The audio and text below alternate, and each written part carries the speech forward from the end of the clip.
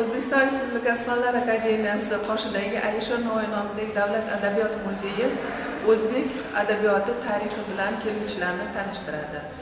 Ayniqsa e, bizda mana hozirgi kunda e, hammamiz e, navoiy kunlarini tantanali ravishda o'tkazyapmiz. Adabiyot muzeyini ikkinchi qavatida asosan alisher navoiyni hayoti va ijodiga bag'ishlanadi. Bu navoiyni bolalik yillaridan boshlab to hayotini so'nggi yillarigacha bo'lgan ekspozitsiyalarda o'z aksini topgan. Ayniqsa alisher navoiyni lirik asarlariga hamsa asarlariga bag'ishlangan nasriy asarlariga bag'ishlangan zallarimizda kelib tomosha qilayotgan e, tomoshabinlar shoirni hayoti va ijodi haqida bir keng tushunchaga ega bo'ladi. Muzey ekspozitsiyasida alisher navoiy davrida ko'chirilgan uni kotiblari tomonidan ko'chirilgan qo'lyozmalarning foto nusxalari mavjud. Shuningdek e, adabiyot muzeyida juda katta qo'lyozmalar fondi bor.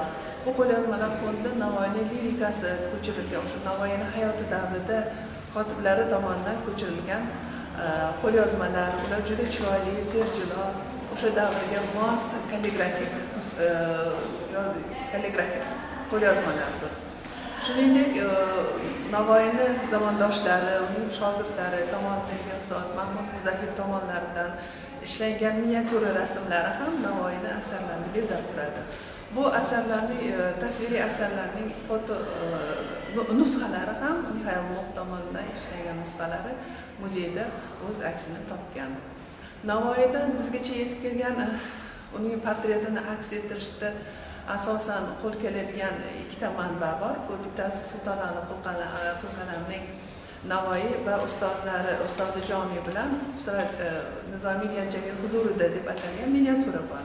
Ko'pincha kelib navoiyni e, asl surati bormi degan e, tomoshabinlarga mana shularni ko'rsatamiz. Albatta kelib e, muzeyni ko'rib ketgan tomoshabinlarda mutaxassislarda juda katta keng taassurot olmoqda. bizani o'zimiz shu navoiyni portretini aks ettirishda foydalaniladigan miniatyuralardan bittasi mana shu sultonali qilqalam tomonidan ishlangan navoiy va abdurahmon jomiy nizomiy huzurida degan e, mana shu kartina miniatyura buni asosan navoiy e, hamsani yozib bitib yozib tugatgach ustoziga taqdim etadi va abdurahmon jomiy uni o'qib e, unga katta bir oq yo'llar tilab qoladi va navoiyni tushi bu yerda aks ettirilgan.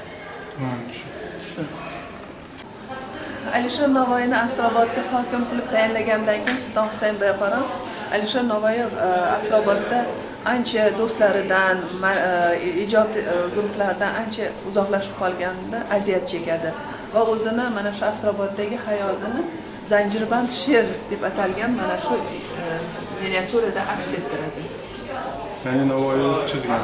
Aynan navoiyni tasvirlagan navoiyni